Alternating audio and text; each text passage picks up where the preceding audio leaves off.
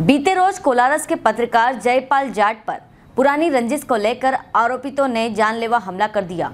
इतना ही नहीं, इस हमले में गोली भी चली जो जयपाल की कनपट्टी को छूते हुए निकल गई। कोलारस कस्बे के जाट मोहल्ले में रहने वाले पत्रकार, सांसद प्रतिनिधि जयपाल जाट के भाइयों का पुराना विवाद मनप्रीत सरदार से चला आ रहा है। बीती शाम रोज की तरह रेलवे स्टेशन कोलारस जब वह टहलने गए थे साथ में रानू भार्गव भी था। तभी मनप्रीत सरदार ने आकर उन पर कट्टे से फायर कर दिया। गोली जयपाल के कान को छूती हुई निकल गई और सात से आठ लोग लाठी डंडों से हमला कर दिया। इस हमले में जयपाल गंभीर रूप से घायल हो गया। घायल अवस्था में उन्हें जिला अस्पताल लाया गया, जहाँ से ग्वालियर रेफर कर दिया गया। हमले के विरोध में आज पत्रकारों ने एसपी को ज्ञापन सौंपा और आरोपितों को गिरफ़्तार कर कड़ी कार्यवाही की मांग की।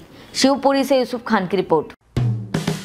हेलो फ्रेंड्स आप देख रहे हैं हमारा channel S W twenty four news हमारे सारे वीडियो सबसे पहले देखने के लिए आप हमारे चैनल को सब्सक्राइब करें और पास में लगे बेल आइकोन को दबाना बिल्कुल भी ना भूलें।